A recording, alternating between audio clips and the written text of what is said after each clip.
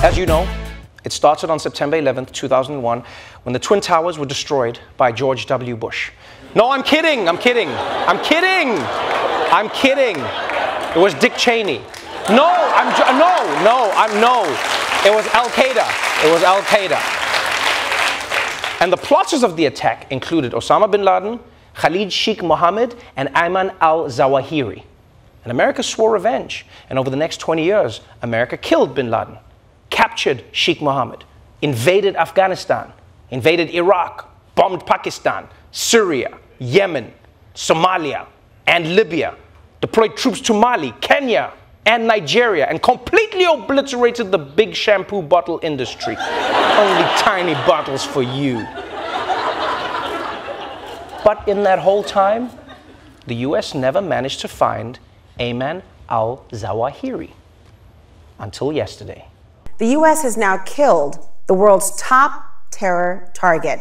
More than 20 years after 9 11, the hunt for bin Laden's number two is now over. He has been in hiding for more than 20 years, one of the world's most wanted terrorists. But tonight, the United States finally caught up with Ayman al Zawahiri. Justice has been delivered and this terrorist leader is no more. Senior officials say the U.S. government used an unmanned drone and Hellfire missiles to target the third floor balcony of a residential apartment building in downtown Kabul. Experts say Hellfire missiles do not explode. Instead, the missiles are equipped with razor like blades extending from the fuselage, which slice through a target.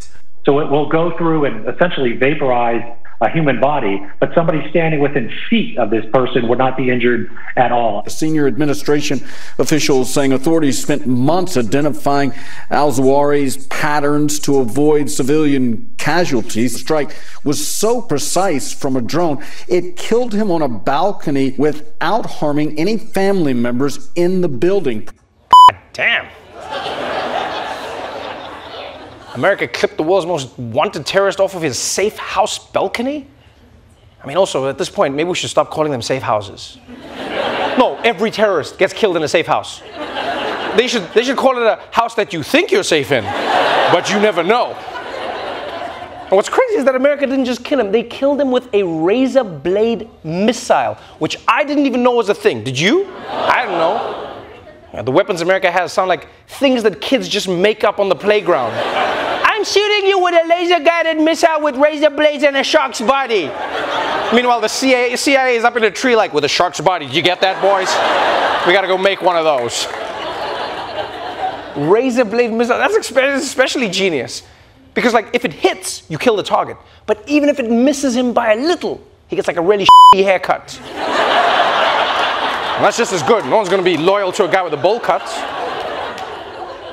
will say though, I will say, you know, when you see stories like this, when you see stories about what America is capable of, this is where you realize there's really no excuse for the amount of domestic terrorism in America, right? Because Zawahiri, Zawahiri lived all the way in Afghanistan, right? In some random safe house in the middle of nowhere. And America knew what time of day he liked to go out onto his balcony.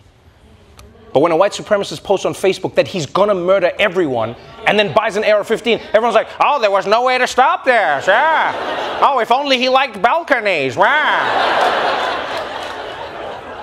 And I know some people are saying, oh, who cares? America killed Al Qaeda's leader, but Al Qaeda isn't even in the game anymore. This is like taking out Tom from MySpace. That's not the point. The point is, America never forgets. Unless it's slavery. But everything else, America never forgets.